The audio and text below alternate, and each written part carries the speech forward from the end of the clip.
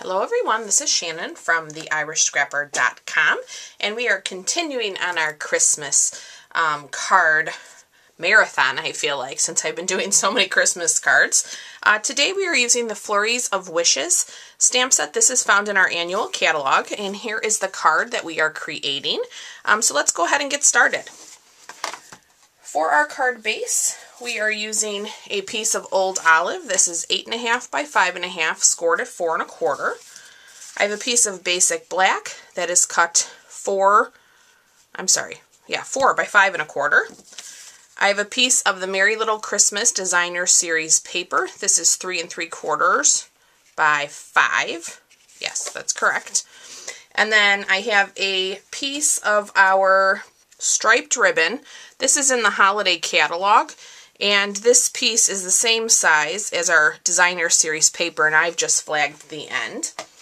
We are also going to be using our foil snowflakes. You can find these in the holiday catalog as well. And then, of course, our layering circle framelits. Okay, so let's go ahead. We could adhere our layers together. So let me start with our designer series paper.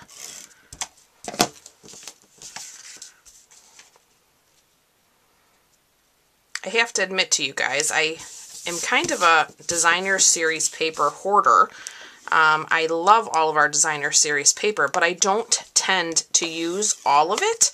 So I'm really trying to make it a point to finish um, this pack. So you have been seeing me use this pack a lot, and that is why, um, for anybody who might be wondering. I do love the color scheme too. I mentioned in one of my other videos that I was more of a traditional Christmas color person, um, but once I started playing with it, these colors, I do really like it.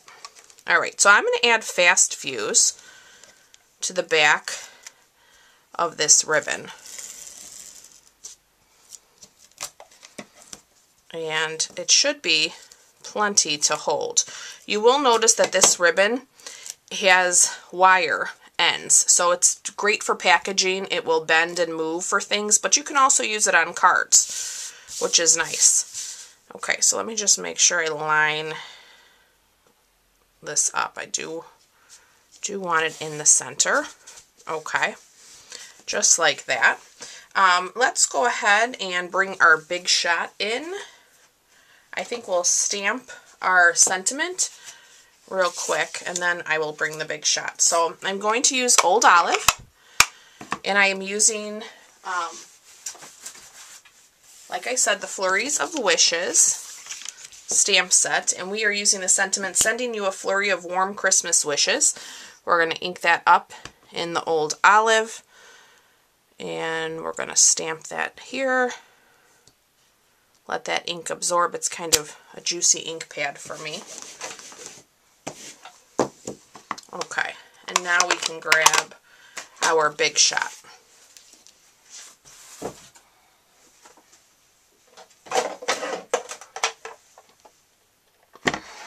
Okay, so I have my magnetic platform in there. I have one cutting plate. I am going to grab my circle, and this fits perfectly, whoops, around our sentiment. Let me just move this over a bit. I want to be sure I don't cut off my C. I think that looks good. So let's run that through.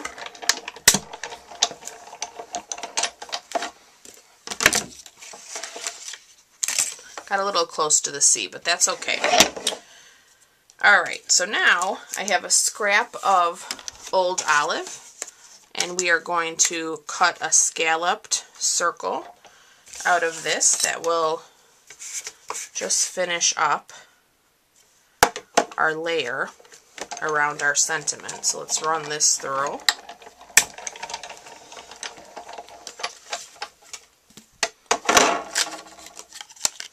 There we go. Alright, now we can set our big shot aside.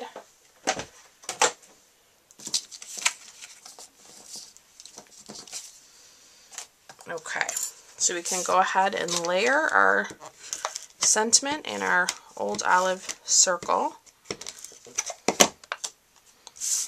together. This is just giving it a nice little border. Just continuing on with that color.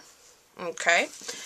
Now I'm going to place this onto our silver foil snowflake. So again, just going to use my fast fuse.